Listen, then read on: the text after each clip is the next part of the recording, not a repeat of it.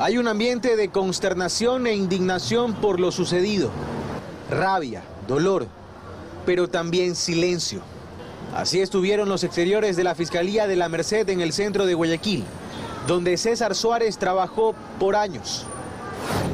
No fueron pocos los casos que pasaron por el despacho del fiscal César Suárez Pilay, oriundo de Paján, provincia de Manabí.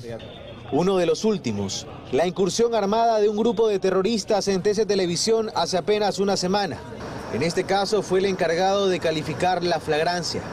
Formaba parte de la oficina de la Fiscalía especializada en delincuencia organizada transnacional y desde hace no mucho despachaba desde las instalaciones de la Policía Judicial, muy cerca de donde la tarde de este miércoles fue asesinado.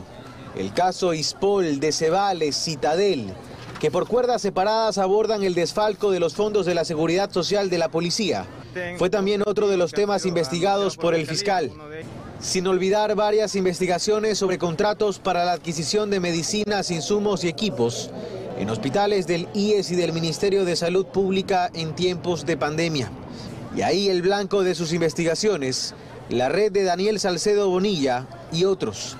Entre estos, la venta de medicamentos del Hospital del Guasmo.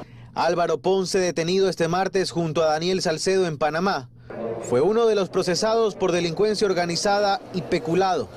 Otros de los casos que llevó como parte de la Fiscalía especializada en temas de administración pública fueron el alquiler del edificio del Colegio de Abogados en Guayaquil por parte de la Corte Constitucional durante el régimen de Rafael Correa.